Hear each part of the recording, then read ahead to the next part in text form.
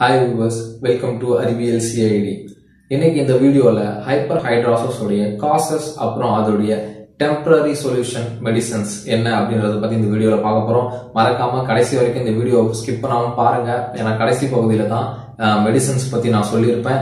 So இந்த வீடியோவை பார்க்கறதுக்கு முன்னாடி இந்த சேனலை இது வரைக்கும் சப்ஸ்கிரைப் பண்ணாதவங்க மறக்காம சப்ஸ்கிரைப் பண்ணுங்க. பக்கத்தில் இருக்கிற பெல் ஐக்கானையும் மறக்காம ப்ரெஸ் பண்ணுங்க. வாங்க வீடியோக்குள்ளே போகலாம்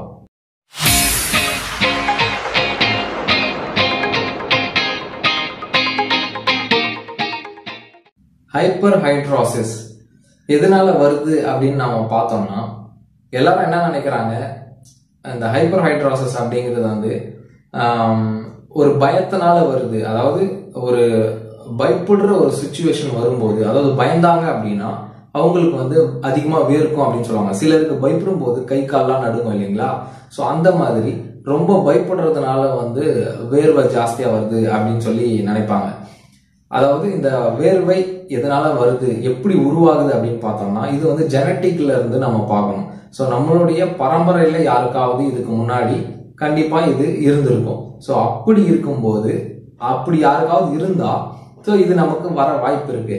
பட் நிறைய பேர் டாக்டர் கிட்ட போகும்போது கூட டாக்டர்ஸ் என்ன சொல்றாங்க அப்படின்னு பார்த்தோம்னா அவங்க கிட்ட போகும்போது இதுக்கான ட்ரீட்மெண்ட் என்ன அப்படின்னு சொல்லிட்டு அவங்க ப்ரொசீஜர் ஸ்டார்ட் பண்ணுறதுக்கு ட்ரை பண்ணுறாங்க அதாவது அவங்க என்ன சொல்லுவாங்க டாக்டர்ஸ் கிட்ட போயிட்டு ஒரு டெர்மட்டாலஜிஸ்ட் கிட்ட போயிட்டு நம்ம இதை காட்டுறோம்.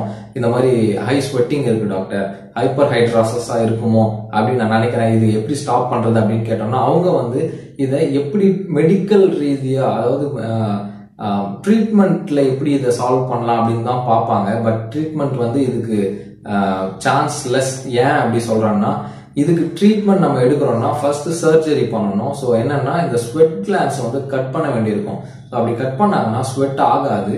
தண்ணி எல்லாமே உடம்புக்குள்ளேயே சேர்ந்துடும் அதனால சைடு எஃபெக்ட்ஸ் நிறைய இருக்கு. ஸோ அதோடைய காசஸ் வந்து பார்த்தீங்கன்னா இட் லீட்ஸ் டு டெத் அப்படின்னு கூட சொல்லலாம்.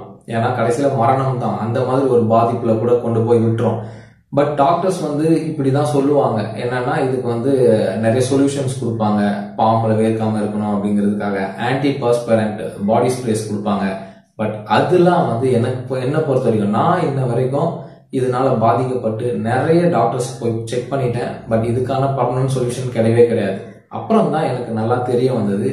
இது வந்து ஒரு psychological problem simple psychological problem அப்படின்னும் போது என்ன அப்படின்னா இதுக்கு வந்து மெடிக்கல் ரீதியான எந்த ஒரு ட்ரீட்மெண்ட் எடுக்கிறதும் அது வேஸ்ட் தான். அதனால சைடு எஃபெக்ட்ஸ் தான் நமக்கு வரும். பட் இதுக்கான சொல்யூஷன் என்ன அப்படின்னு பார்த்தோம்னா நம்ம ஒரு சைக்காட்ரிக் டாக்டர் கிட்ட போயிட்டு நம்ம செக் பண்றது நல்லது. நம்மளுடைய மென்டல் தாட்ஸ்னால தான் இந்த எக்ஸசிவ் ஸ்வெட்டிங் ப்ரொடியூஸ் ஆகுது உடம்புல. என்னன்னா பிரெயினுக்கும் ஸ்வெட் கிளான்ஸ்க்கும் கனெக்ஷன் இருக்கு.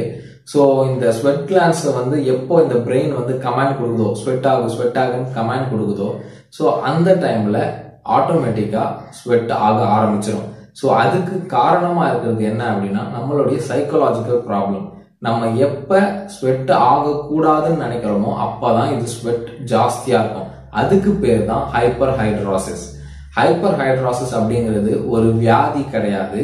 இது ஒரு மென்டல் டிசபிலிட்டி அப்படின்னு சொல்லலாம். அதாவது சைக்கலாஜிக்கல் ப்ராப்ளம் அப்படின்னு சொல்லலாம்.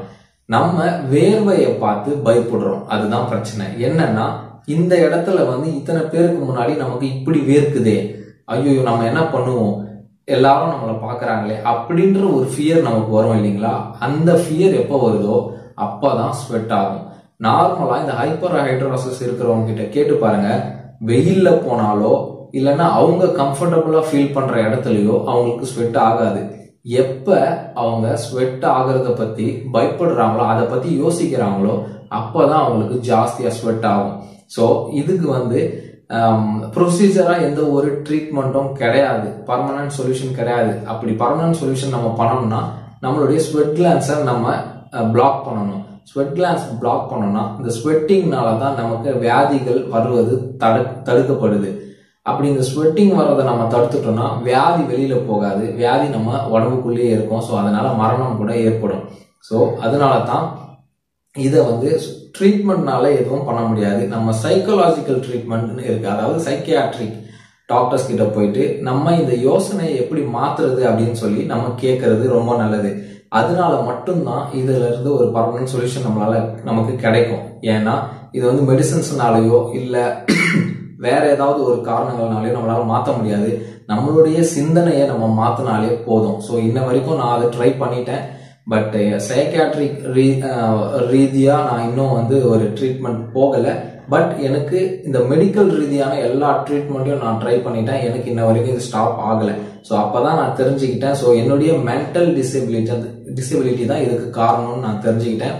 ஸோ இதுக்கான டெம்பரரி சொல்யூஷனுக்கு மெடிசின்ஸ் இருக்கு. என்ன அப்படின்னு பார்த்தோம்னா இதுக்கு வந்து பாட்டாக்ஸ் அப்படின்ற ஒரு இன்ஜெக்ஷன் இருக்கு. ஸோ அந்த இன்ஜெக்ஷன் வந்து எந்த இடத்துல ஸ்வெட் ஆகுதோ அந்த இடத்த சுத்தி அந்த இன்ஜெக்ஷன் போட்டாங்கன்னா சிக்ஸ் மந்த் ஒன்ஸ் இந்த இன்ஜெக்ஷன் போடுவாங்க.